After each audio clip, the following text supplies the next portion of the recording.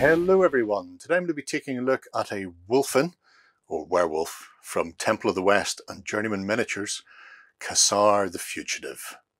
This is the Journeyman Miniatures version from uh, France. If you get the Temple of the West version, you get the same miniature. However, uh, he also comes with some cards for Confrontation Continuum. a little Minotaur sticker and a big base well packed.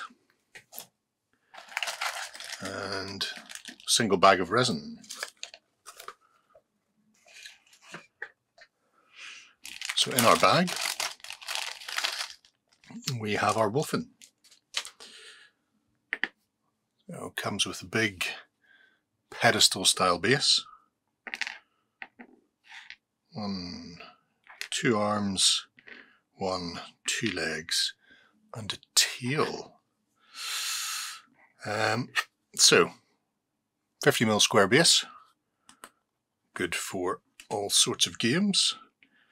I'll be rebasing them onto an old Rackham base that I have.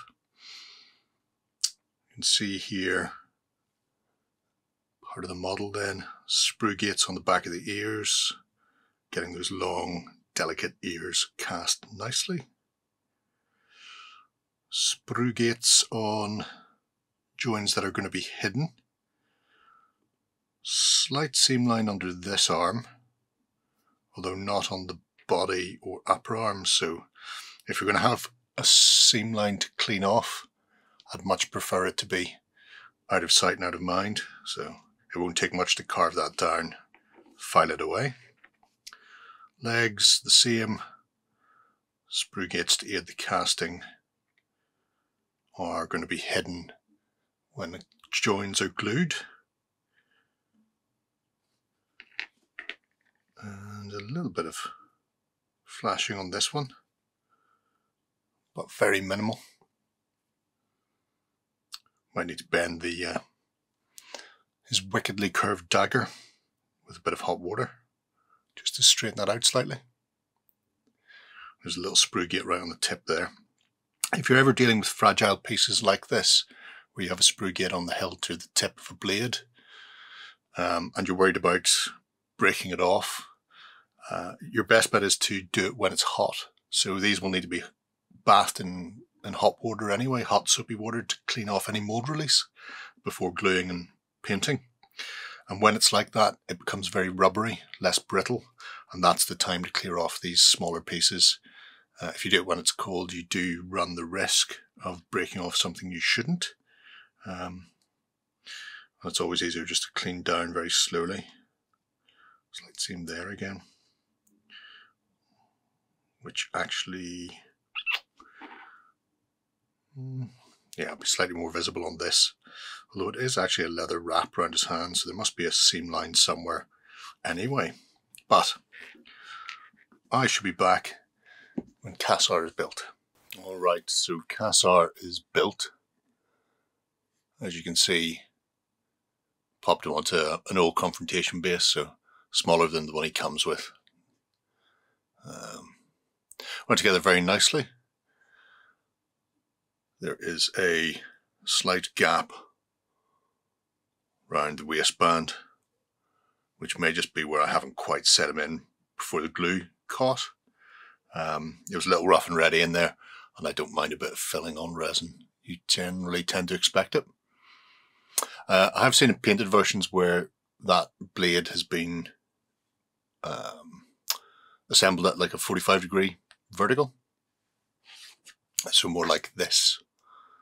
Uh, but I quite like the low down look.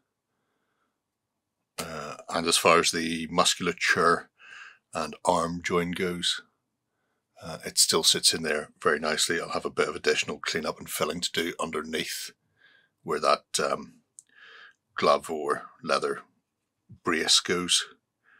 Um, but I felt that was worth it because I prefer that pose. As you can see, nesting there on his rock. He is approximately 50 millimeters to top of his ears, about 44 at eye level. And there is a bit of an overhang if he's on the confrontation uh, 35 mil base, 37 and a half, whatever you want to call them. Um, but it is a skirmish game, so I'm not particularly worried about that. It's a terrific sculpt based on um, Paul Bonner's artwork. So yeah, went together really nicely, cleaned up very well, and just a small amount of filling, and he'll be good to go for the tabletop. Um, if you get him from Journeyman Miniatures, he just comes as the model.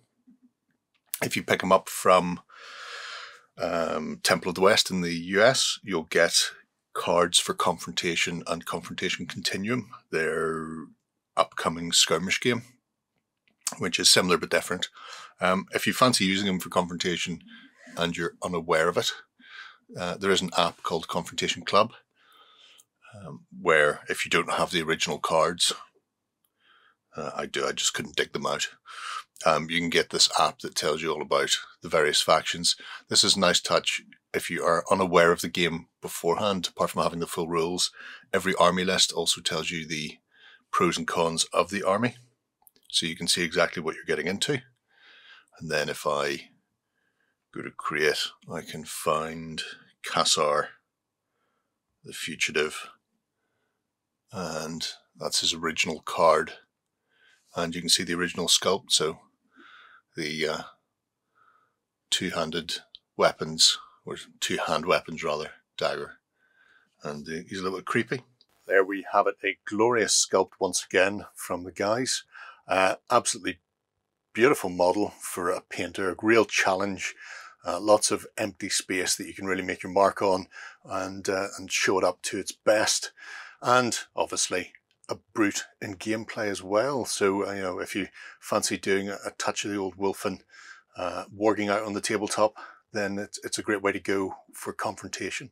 Uh, like you've seen there, you can have a look at the stats on Confrontation Club or keep an eye out for Temple of the West's new Skirmish Confrontation Continuum uh, whenever it comes out, slightly more streamlined uh, skirmish game for larger sort of style warbands. Um, but let me know what you think of the miniature below. Uh, if you've been playing Confrontation or if you've been experimenting with the stuff from Journeyman and Temple of the West as well, I'd be very interested to hear that. Until next time, bye bye. Go ahead and check out our other content on screen now. And while you're at it, why not hit subscribe and remember to ding our dong. Go on, you know you want to click it. Go on.